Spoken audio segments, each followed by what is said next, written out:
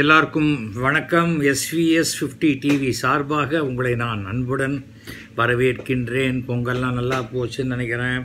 அதாவது காணும் பொங்கல் வரைக்கும் பயங்கரமான இது பீச்சு தான் பூட்டியிருந்ததே தவிர பாக்கி இருக்கிற இடத்துலலாம் போகிறாங்க தேட்டரில் வந்து ஐம்பது சதவீதம்னா கூட அதையும் தாண்டி கீண்டி எப்படியோ போயிட்டு ஆனால் இந்த இந்த காம்ப்ளெக்ஸ் தியேட்டரில் மட்டும் கரெக்டாக ஐம்பது சதவிகிதம் மக்களை மட்டுமே உள்ளே விடுறாங்க. பட் இதோடைய ரியாக்ஷன்லாம் என்னென்னு பார்க்கணும். தடுப்பு மருந்து வேறு கொண்டு வந்துட்டாங்க. தடுப்பு மருந்து தான் கொரோனா தான் வந்துட்டு போயிடுச்சு. இப்போ எதுக்கு தடுப்பு மருந்து அப்படின்னு புத்திசாலித்தனமாக யாரும் நினைக்காதீங்க. காரணம் தமிழக அரசு நமக்கு எல்லாருக்குமே நான் தடுப்பு மருந்து போடுறீங்க போது அதை பயன்படுத்தி கொள்வது புத்திசாலித்தனம். அது அந்த ஒரு காரணம் தான். அது முதல்ல வந்து பணியாளர்களுக்கு இந்த சமூக பணியாளர்களுக்கு அதுக்கப்புறம் டாக்டர்ஸ் அந்த மாதிரி. இன்றைக்கி வந்து நேத்திக்கு ஆக்சுவலாக நேத்திக்கு நம்முடைய ஹெல்த் செக்ரட்டரி ஜே ராதாகிருஷ்ணன் அவர்கள் அந்த தடுப்பு ஊசியை போட்டு கொண்டிருக்கிறார்.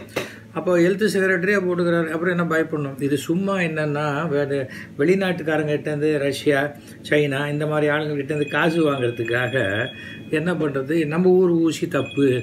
இது ரொம்ப நாளாகவே இருக்குது இந்த மாதிரி பண்ணுறவங்க நிறைய பேர் இருக்கிறார்கள். அப்படி இருக்கும்போது அதை வந்து நாம் வந்து புறக்கணிக்கணும். சுற்றி சுற்றி பாருங்கள் இந்த கம்யூனிஸ்ட் சித்தாந்தம் இருக்கிறவங்க நம்ம தேசத்துக்கு எதிராக பேசுகிறவங்க அந்த மாதிரி துரோக செயலில் இருக்கிறவங்க தான் இந்த மாதிரி அரசு கொண்டு வர எல்லாத்தையும் தப்பு கண்டுபிடிச்சி அதை ஜனங்களை பழிவாங்கக்கூடிய விஷயமாக செய்வாங்க. இது வந்து ஒரு நக்சல் மனோபாவம்னு அர்த்தம். அதனால் நமக்கு ஒரு ஆயிரம் ரூபாய் மதிப்புள்ள ஒரு ஊசியை இலவசமாக அரசாங்கம் போடுறாங்கன்னா போட்டுக்காங்க. உங்களுக்கு கரும்பு வாங்கிக்கிறோம் இது வாங்கிக்கிறோம் அரசாங்கம் கொடுக்குற பணத்தை வாங்கிக்கிறோம். இந்த ஊசி போட்டுக்கல என்ன தப்பு? நமக்கு ஒரு நோய் வரக்கூடாதுன்னு போடுறாங்க. இப்போ தடுப்பு ஊசி அம்மைக்கு போட்டிருக்காங்க அப்புறம் போலியோ ட்ராப்ஸ் போடுறாங்க. அதெல்லாம் கூட சில பேர் எழுத்துருக்காங்க முட்டாள்தனமாக திமிர்த்தனமாக அதெல்லாம் புறக்கணிக்கணுங்கிறதுக்காக தான் நான் பேசுகிறேன் அடுத்தது முக்கியமான ஒரு விஷயம் மகா பெரியவர்கிட்ட ஒருத்தரை போய் காஞ்சி மடத்தில் நமஸ்காரம் பண்ணிவிட்டு ஏந்துக்கிறார் முடியல மூச்சு வாங்குது. அப்படியே ரெண்டு மூணு பேர் கையை பிடிச்சி உட்காந்து கொஞ்சம் கொஞ்சம் ஆசுவாசப்படுத்திக்காங்க. அப்படிங்கும்போது அவர் சொல்கிறாரு சுவாமி என்னுடைய உடம்பே ரொம்ப பலகீனமாக போச்சு. கொஞ்சம் தூரம் நடந்தால் கூட மூச்சு வாங்குது. என்ன பண்ணுறதுனே தெரியலையே. அப்படின்னு அதுக்கே ஒரு மூச்சு வாங்கிட்டார். உடனே சொன்னார் நம்ம வாழ்க்கையில் எல்லாம் ஒரு கணக்கு தான்ப்பா அதாவது கணக்கு தப்பினா உடல் மனசு எல்லாத்துலேயும் பிரச்சனை ஏற்படத்தான் செய்யும். சாப்பிட்றது தூங்கிறது ஏந்துக்கிறது எல்லாமே ஒரு மாதிரி சரியாக நடக்கணும். நேரத்துக்கு ஒரு நாளைக்கு அஞ்சு மணிக்கு எழுந்துக்கிறேன் ஒரு நாளைக்கு பன்னெண்டு மணிக்கு எழுந்துக்கிறேன் ஒரு நாளைக்கு ராத்திரி மூச்சு இருக்கேன்னா அது சரியாக இருக்காது. அது வந்து அது மாற்றம் இது மாறி மாறி வரும்போது என்ன ஆகும் நமக்கு சங்கடம். ஏற்படும். இது நான் நடுவில் சொல்கிற விஷயம் ஜெட்லேக் ஆகுது. எதுக்கு? டெய்லி இங்கே அஞ்சு மணிக்கு ஏந்துக்கிறவங்க கார்த்தால் அஞ்சு மணிக்கு ஏந்துக்கிறாங்க அமெரிக்கா போனால் சாயங்காலம் அஞ்சு மணிக்கு ஏந்துக்கணும். ஏன்னா அது அப்படியே பண்ண அந்த கரெக்டாக பன்னெண்டு மணி நேரம் வித்தியாசம். எப்படி இருக்கும் பாருங்கள் யோசிச்சு பாருங்கள் அந்த மாதிரி வியாபாரத்தில் வளவு வரவு செலவு இருக்குது வரவை விட செலவு அதிகமாச்சுன்னு வச்சுக்கோங்க. அவ்வளோதான் ஒன்றுமே இப்போ வியாபாரம் வந்து நஷ்டம் வரத்தானே செய்யும்.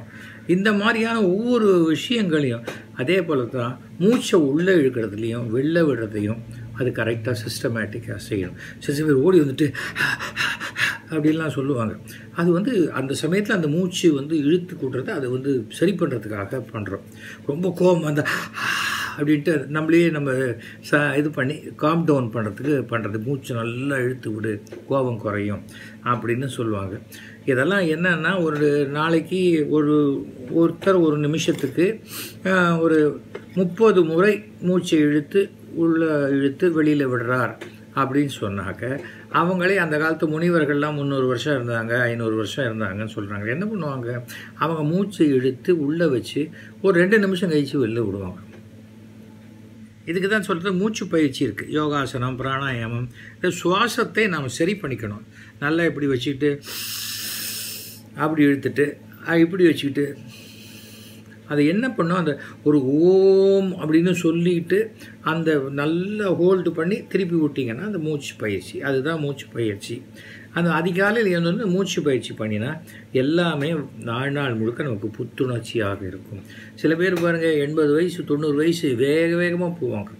இன்னும் சில பேர் இருங்க இருங்க வர முடியலையே அப்படின்னு மூச்சு வாங்குறவங்களாம் இருக்காங்க.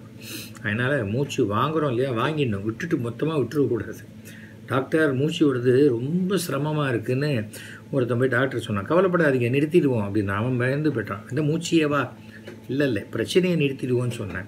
அது மாதிரி நாம் வந்து கொஞ்சம் எல்லாவற்றிலையுமே கொஞ்சம் சிஸ்டமேட்டிக்காக இருந்தால் பிரச்சனை கிடையாது என்பதற்காக சொன்னேன். அதுவும் மகாபெரியவர் சொன்னது. அதனால் அந்த மகாபிரிவர் வந்து சொன்ன ஒரு ஸ்லோகம் வந்து எங்கும் நிறைந்திருக்கும் குருவாயூரப்பா பிரம்மாவை தோற்றுவித்தவரே நீயே நோய்களை போக்கி நலம் தர வேண்டும். இதை டெய்லி சொல்லுங்கள் இது இந்த இந்த வார மலர் ஆன்மீக மலரில் வந்திருக்கு. தினமலரில் அதுக்காகத்தான் சொன்னேன். அடுத்தது இன்னைக்கு திங்கட்கிழமை நேற்றுக்கு ஞாயிற்றுக்கிழமை புரட்சி தலைவர் எம்ஜிஆர் அவர்களுடைய நூற்றி நாலாவது பிறந்த நாள். எத்தனை வருஷம் ஆனாலும் இருக்கும்போதும் சரி மறைந்த போதும் சரி புகழோடு இருக்கக்கூடிய ஒரு நடிகர் அரசியல்வாதி ஒரு மா மனிதன் என்றால் அது வந்து புரட்சி தலைவர் எம்ஜிஆர் அவர்கள் தான் எனக்கு ரொம்ப சின்ன வயசாக பத்து பன்னெண்டு வயசு இருக்கும்போதெல்லாம் அவர் ஃபோன் பண்ணியிருக்காரு எனக்கு பண்ணியிருக்காருல எங்கள் வீட்டுக்கு ஃபோன் பண்ணுவார். Seven three seven three six seven three seven three சிக்ஸா அப்படிம்பார். நான் ஓடி ஃபஸ்ட்டு எங்கள் வீட்டில் கண்டிஷன் என்னென்னா ஃபோன் பெல் அடித்தா ரெண்டு பெல்லுக்குள்ளே ஓடி போய் எடுத்துடணும். யார் பக்கத்தில் இருந்து எடுக்கலைன்னா அவங்களுக்கு காஃபி கட்டு டிஃபன் கட்டுன்றவார் எங்கள் அப்பா. அது என்ன ஒருத்தன் ஃபோன் பண்ணுறான் அது பாட்டுக்கு ட்ரேன் ட்ரேன் ட்ரேன் அடிக்கிறதுக்கு என்ன சினிமா கிளைமேக்ஸ் இது? அப்படிம்பார். அதனால் பெல்லு கேட்டதுன்னா உடனே ஓடி போயிடும். அந்த மாதிரி தான் எங்கள் ட்ராமாவில் கூட ஒரு டைலாக் வரும். ஃபோனில் யார்? அப்படிம்பாங்க. மாமியார். அது தெரியல யாரோ ராங் நம்பர் ராங் நம்பர்னா நீயே எடுக்கிற? அப்படிம்பாங்க மாமியார். இல்லை ராங் நம்பர் எனக்கு எப்படி தெரியும்? அது ராங் நம்பர்னு தெரியுதோ தெரியலையோ அப்பப்போ ஃபோன் எடுத்து பார்க்கணும். நாங்களாம் அந்த காலத்தில் அப்படி தான் பண்ணுவோம். அதாவது மாமியார் மருமகளை சொல்கிறதுக்காக வைக்கப்பட்ட டயலாக் அது.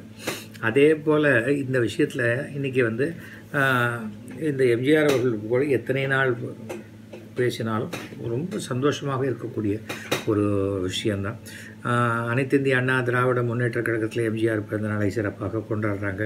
அந்த மீட்டிங்லாம் போடுறாங்க. எல்லாம் நல்ல விஷயம். அதை தாண்டி எம்ஜிஆர் என்ற அந்த மாமனிதன் இன்றைக்கி பார்த்தீங்கன்னா தமிழ்நாட்டிலையும் சரி எம்ஜிஆர் சிலைகள் அதிகமாக இருக்கிற இடம் எது தெரியுமா? ஸ்ரீலங்கா. ஸ்ரீலங்காவில் போய் அத்தனை எம்ஜிஆர் சிலை இருக்கும். அந்த மாதிரியான மரியாதை எம்ஜிஆர் மேலே அவங்களுக்கு. அதே போல் நேற்று வந்து நான் எம்ஜிஆருடைய நினைவு இல்லம் தெரியுமா? டி நகரில் ஆர்காட் ரோட்டில் இருக்குது அந்த நினைவு இல்லத்தில் எம்ஜிஆர் அவர்கள் பயன்படுத்தி அனைத்து பொருட்களும் பார்வைக்கு வச்சுருக்கு. அனுமதி இலவசம். யார் வேணால் உள்ளே போய் எம்ஜிஆர் பயன்படுத்திய காரு அவர் வாங்கின ஷீல்டு கேடயம் அவருக்கு கொடுத்த செங்கோல் அவர் எடுத்துக்கிட்ட பல ஃபோட்டோக்கள் அத்தனையுமே அங்கே இருக்குது எம்ஜிஆருடைய பேரன் அங்கே வந்து குமார் ராஜேந்திரன் தான் ட்ரஸ்டியாக இருக்கிறார். அதை வந்து அவ்வளோ பிரமாதமாக பராமரிக்கிறாங்க. வாசலையே எம்ஜிஆர் சிலை மண்டபத்தோடு இருக்குது எம்ஜிஆருடைய முழு உருவ சிலையை கடந்த ஆண்டு தான் நரேந்திர மோடி அவர்கள் திறந்து வைத்தார். நம்ம எம்ஜிஆர் ஜானகி காலேஜ் வாசலில் அந்த ரோடில் போனீங்கன்னாலே அடையாக இருக்குது இங்கேருந்து போனாலும் சரி அடையாலேருந்து திரும்பி வந்து போதும் சரி பார்த்தா அவ்வளோ பெரிய சிலை அதை வந்து இதிலேருந்து திறந்து வைத்தார் நரேந்திர மோடி அவர்கள். அதே போல் நம்முடைய ரயில்வே ஸ்டேஷனுக்கு நம்ம சென்ட்ரல் ஸ்டேஷனுக்கு எம்ஜிஆர் புரட்சித் தலைவர் எம்ஜிஆர் ராமச்சந்திரன் அவருடைய பெயரை வைத்து கௌரவப்படுத்தி இருக்கிறார்கள் அதே போல் எம்ஜிஆருடைய நூற்றாண்டு பொழுது எம்ஜிஆருடைய காயின் அந்த அந்த காயின் வந்து ரிலீஸ் பண்ணாங்க. சென்ட்ரல் கவர்மெண்ட்டு மோடி தான் வெளியிட்டார். அந்த காயின் வந்து பார்த்திங்கன்னா என்ன சொல்கிறது ஒரு நூறுரூவா காயின் ஒரு அஞ்சு ரூபா காயின் அந்த காயின் தான் ரிலீஸ் பண்ணியிருக்காங்க. காமிக்கிறாங்க இதுதான். அஞ்சு ரூபா காய் நூறுரூவா காயினது பின்பக்கம் நூறுரூவான்னு போட்டிருக்கோம் இந்த பக்கம் பின்பக்கம் அஞ்சு ரூபான்னு போட்டிருக்கோம்.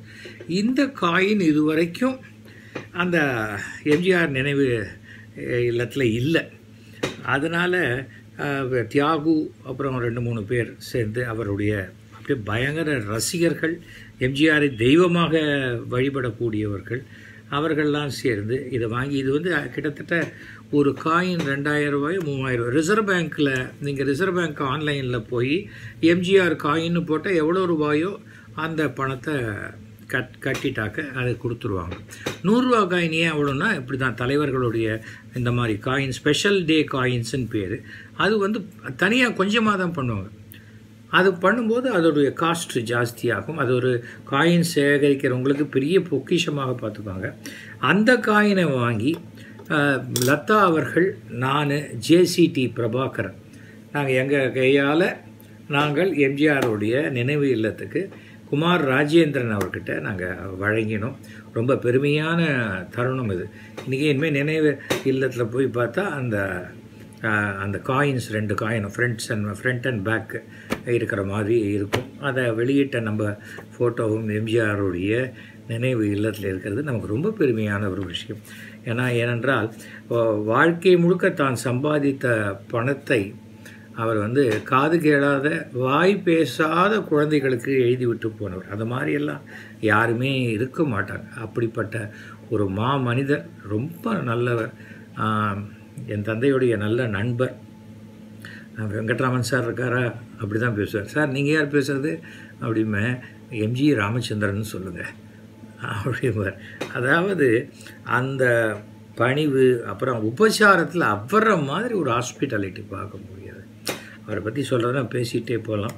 அவருடைய நினைவு அலைகளை நாம் போட்டணும் இன்றைக்கி வந்து பத்து பர்சன்ட்டு எக்கனாமிக்கலி வீக்கர் செக்ஷன் அதாவது முற்படுத்தப்பட்ட சமுதாயம் சமுதாயம் சொல்லி இன்னைக்கு சமுதாயத்திலேயே நசுக்கிக்கிட்டு இருக்காங்க இல்லையா? சமூக அநீதிங்கிற பேரில் அவர்களுக்கெல்லாம் இந்த முற்படுத்தப்பட்ட சமுதாயத்தினர் எண்பது எண்பத்தஞ்சு ஜாதி ஆனால் சும்மா இவன் பிராமணன் பிராமணன்னு சொல்லி இருக்கிறவங்களெல்லாம் தலையில் மிளகா அரைப்பாங்க. அதில் எண்பத்தி ஐந்து ஜாதிகள் உட்பட வருகின்றது. அந்த எண்பத்தைந்து ஜாதிகளுக்கும் இடஒதுக்கீடு கொடுக்க வேண்டும் என்று முதல்ல தமிழ்நாட்டில் ஆசைப்பட்டு அதை கனவாக நிறைவேற்ற வேண்டும் என்று நினைத்தவர் புரட்சி தலைவர் எம்ஜிஆர். அதை நிறைவேற்றி கொடுத்தவர் நம்முடைய பாரத பிரதமர் நரேந்திர மோடி. அதை செயல்படுத்த வேண்டியது யாருக்கு ஒரு கோடி ஓட்டு வேணும்னு ஆசைப்படுறாங்களோ அவங்க தான் அதை செயல்படுத்த வேணும். அவங்களுடைய கிட்டத்தட்ட ஒரு கோடி ஓட்டு கண்டிப்பாக நான் இடபிள்யூஎஸ்ஐ கொண்டு வருகிறேன். அப்படின்னு இந்த அதிமுக அரசு அனௌன்ஸ் பண்ணிடுச்சுன்னா அந்த எண்பத்தைந்து ஜாதிகள்லையும் குறைஞ்சபட்சம் ஒரு கோடி ஓட்டுக்கள் அந்த ஒரு கோடி ஓட்டுக்கள் அதிமுகவுக்குத்தான் விழும் என்பதை நான் வந்து எல்லார் சார்பாகவும் சொல்லிக்கிறேன். ஏனென்றால் எல்லாரும் மேட்டையும் பள்ளத்தையும் சரிசமமாக்குவதுதான் சமூக நீதி. மேட்டை பள்ளமாக்கி பள்ளத்தை மேடாக்கிட்டால் அது திமிர்த்தனம்னு பேர். அது என்னன்னா ஒரு வைர ஒரு ஒரு வெறுப்பு அடி மனசில். அந்த வெறுப்பைத்தான் விதைச்சி விதைச்சி விதைச்சி வீணாக போயிட்டாங்க. அதனால் யாரும் இதில் கெட்டு போய்டுறதில்ல. திறமை இருக்கிறவன் இங்கே இல்லைன்னா வேறு ஊரில் போய் பழிச்சுக்கிறான் எங்கே வேணால் போய் பழிச்சுப்பான் அதில் ஒன்றும் பிரச்சனை இல்லை. ஆனால் இதையே தொடர்ந்து ஐம்பது வருஷம் அறுபது வருஷம் ஏமாற்றியாச்சு அதையே தொடர்ந்து ஏமாற்றிட்டு இருக்க முடியாது. அதற்காகத்தான் நான் சொல்கிறேன் ஸோ இந்த பிறக்க போகும் பிறந்து இப்போ அந்த தை மாதத்துக்கு அப்புறம் எல்லாமே சிறப்பாக இருக்கிறேன் அந்த சிறப்பாக இருக்கக்கூடியதில் இந்த இடபிள்யூஎஸ் பத்து பர்சன்ட்டும் கண்டிப்பாக வரும். அந்த இடபிள்யூஎஸ் பத்து பர்சன்ட் என்னன்னா ஏற்கனவே இருக்கிற இட ஒதுக்கீட்டில் ஒரு பர்சன்ட் கூட கை வைக்கல. அதை தாண்டி தனியாக கொடுக்குறாங்க. அதில் என்ன பிரச்சனை இருக்குது நம்ம தட்டுலேருந்து ஒரு பருக்கு சோறை கூட எடுக்காத போது அடுத்தவனுக்கு சோறு போடல நமக்கு என்ன கோபம் வருது? தப்பு இல்லையா அது? நல்லா யோசிச்சு பாருங்கள் நீங்கள் நான் சொல்கிறது ரைட்டாக இல்லை தப்பா அப்படின்னு புரியும். ஓகேயா? ஸோ ஏன்னா என்கிட்ட யாராவது ஃபோன் பண்ணோன்னா nine eight four one zero two three five four five கூப்பிடுங்க. இல்லை டொனேஷன் அனுப்பணும் டீட்டெயில்ஸ் வேணுங்கிறவங்க டொனேஷன் அனுப்பினவங்க உங்கள் டீட்டெயில்ஸ்லாம் அனுப்புறதுக்கு உங்கள் பேர் எந்த பேங்க் அக்கௌண்ட்லேருந்து அனுப்பிச்சிங்க. அப்புறம் உங்கள் பத்தாயிரம் ரூபாய்க்கு மேலே போச்சுன்னா உங்கள் பேன் கார்டு நம்பர் வெளியூர் நாட்டிலேருந்து அமிச்சா பேன் கார்டு நம்பர்லாம் வேணாம். அந்த மாதிரி இருக்கிறவங்க Mylapore MLA at Gmail dot Kamil contact பண்ணுங்கள் மீண்டும் சந்திப்போம். அனைவருக்கும் நன்றி. வணக்கம்.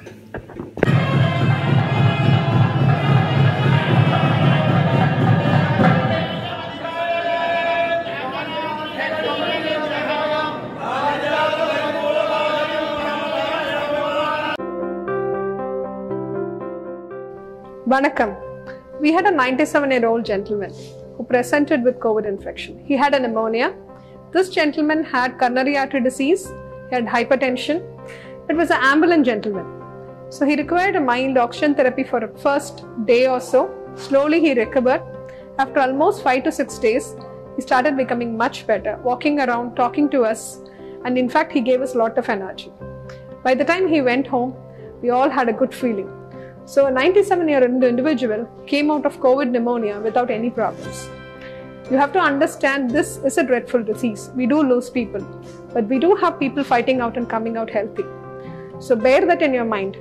Having COVID is not end of life. There's always a chance that we could win the war and we'll be healthy forever. Thank you.